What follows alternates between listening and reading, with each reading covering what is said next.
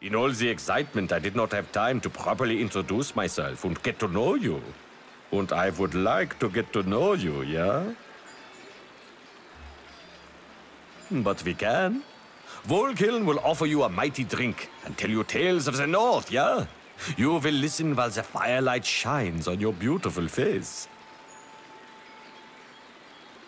You do not think you have a beautiful face? How about your eyes? Your eyes shine like Selune's tears.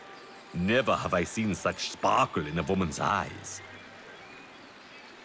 Your hair. Women love it when you talk about their hair, yeah?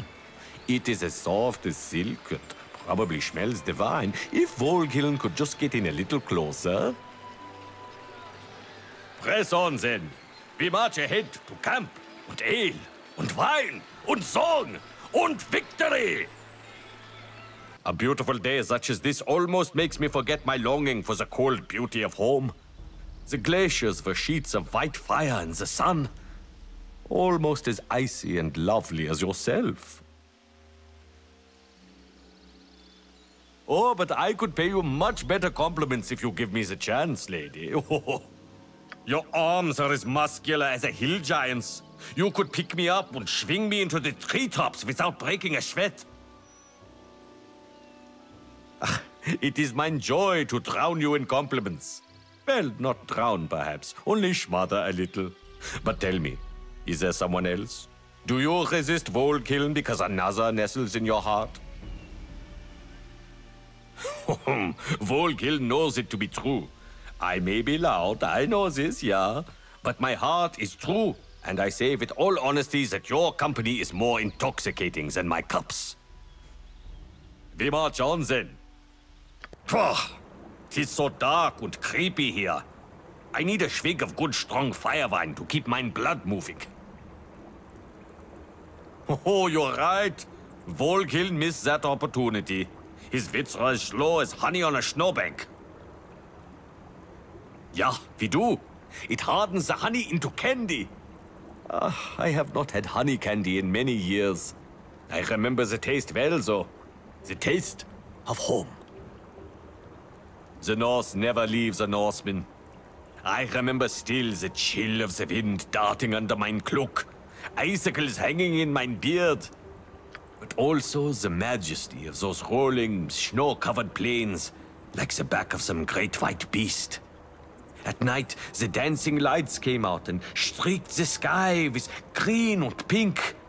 A fine snow. One you'd pay a toll to see in Waterdeep. Voghiln is not just a skald in name, but one indeed.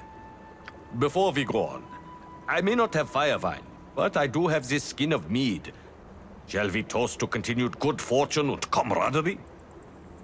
To our team then, to you and I. I drink to you and my admiration for you overwhelms. May I kiss your hand? I sworn with happiness. You see the value in our partnership, yeah? May I be so bold as to kiss your wrist? Long have I dreamed of this moment. Now I come closer. Now I kiss. Shara smiles upon me. You have left me dizzy. Or is it mead? Either way, we must press on. Time runs out on us. The enemy of all mortals, yeah? We near the end of our tale.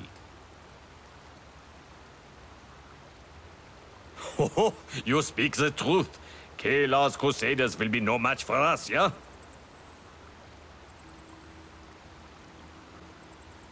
Onward then. But first, perhaps, Tis an old northern superstition that a kiss before battle from a beautiful woman ensures victory. One kiss is enough to take the mighty Voghiln's breath away. And still time slips away. So we must hurry. I would still ask for one more moment of your time. Something weighs on Voghiln's mind. Uh, Voghiln the Mighty does not often have to have this conversation. A woman does not usually return mine affection, let alone two. There was wine, though, and a moment of weakness, and she was so very beautiful by the firelight and the siege camp. It was only that one night. And perhaps another. But, but there was much wine, so Voghiln has trouble remembering. Safana is hard to resist when one's head is clouded. But do not be upset. Voghiln has something good to say.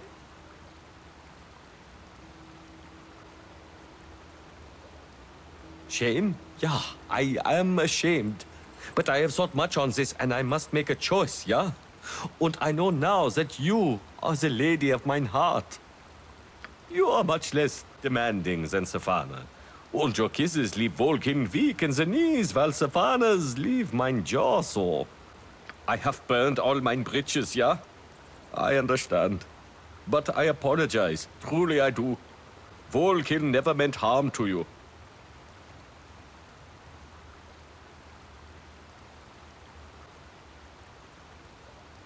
Really?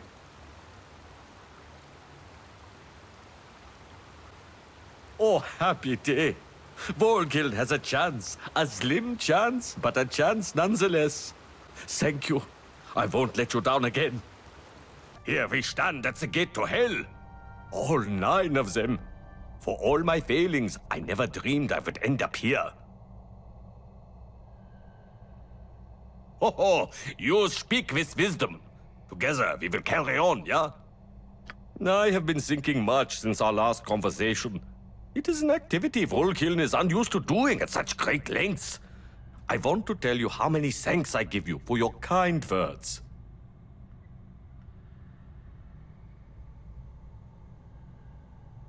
That is how it is, yeah. I meant no harm. For all Voghiln's bluster, he is not always so fortunate with the woman's. It is easy for a pretty lady to turn his head.